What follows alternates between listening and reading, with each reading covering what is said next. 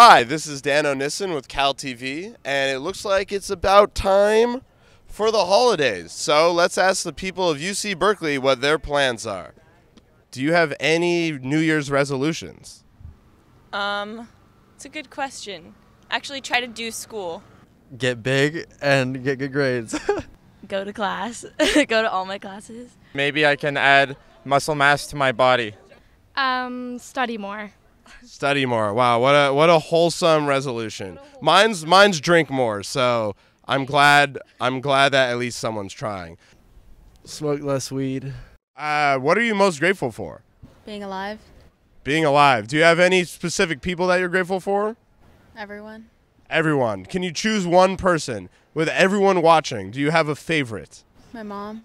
Your mom. Ah, I hope she's watching out there. I know. I know she'll see it. No. Okay.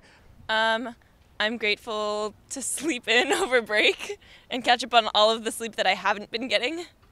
Are you guys Are you guys grateful for each other? Are you friends? Enemies?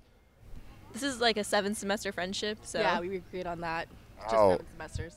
Wow, seven semesters strong. That's seven more semesters than I've ever been friends with anyone. I'm most grateful for Samantha Patton.